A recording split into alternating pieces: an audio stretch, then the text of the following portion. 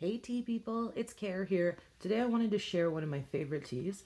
This is a black tea from Neverland Tea Salon in Vancouver. If you ever get a place a chance to go there, it is it's kind of expensive. I mean, you can order just one or two teas and have it cheaper, but um, they're one of the best tea places in Vancouver, I think. And um, this is one of my favorites from there. It's called Almond Joy. It is a scented black, a sweet blend of uh, Ceylon and Chinese black teas with flakes of coconut and almond. Ingredients black tea, coconut flakes, almond flakes, and eh, almond bits. And you know, they gotta have some kind of, um, like, uh, it's almost like almond flavoring in here because you can see the little, little bits of almond there, but oh my gosh. Mm, it smells so almondy, like you just opened a package of fresh marzipan kind of thing, or, um, or like you know those Florentines and those really almondy desserts. So yeah, anyway, almond joy. Uh, I like this tea as a latte. Again, I don't usually um, add sugar to things. If you add sugar, it makes it taste like a really like mm, almondy, almondy candy bar. It smells so good when it's steeping. And uh, like you can take a look in there. I don't know how well you can see, but it's one of those teas that has a little bit of uh, like oil beading on the top. I'm guessing from the like almond essential oil or even just the oil off the bits themselves. I'm not totally sure, you know, how transparent they are with their labeling. But that gives it a really, really good mouthfeel.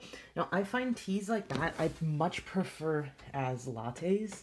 For me, um, just this is a really personal preference, but um, I prefer when they have that, the, the little kind of doesn't sound good to call it an oil film, but the, the little beads of oil like flavors on top that it, it, it blends much nicer into some kind of milk than just on its own.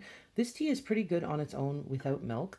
Um, you still get that almond taste, but I like to have it with almond milk, ha, because it's an almond tea.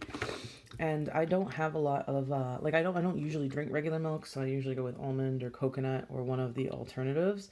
But this stuff is so good as a latte. With almond milk, it just makes it so almondy. Mmm. So much almond. It's like almond candy. So good. So, so, so, so good. Um, mmm. It is a scented black. So, uh, like, it doesn't, they don't actually label their stuff for caffeine content, but it, it is a good wake up tea, like beginning of day tea. And, um, like, I, I like to have it in the mornings. It also makes a decent iced tea or iced latte because the almondiness is so good. Obviously, it's no good if you're allergic to nuts. Don't do it. Uh, and the, the other thing I wanted to say about this was, um, like, I forget what I was going to say. Hmm. It's just really good. Try it. I'll link um, Neverland Tea Salon in the comments. Almonds.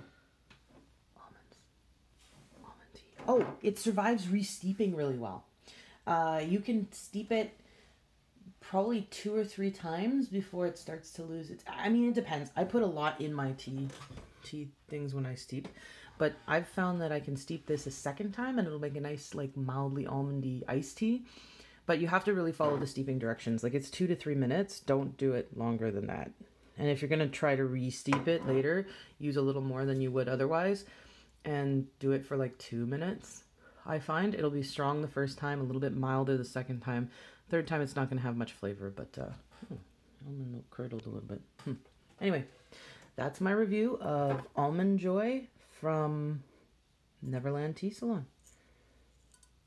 Thanks so much for watching. Bye.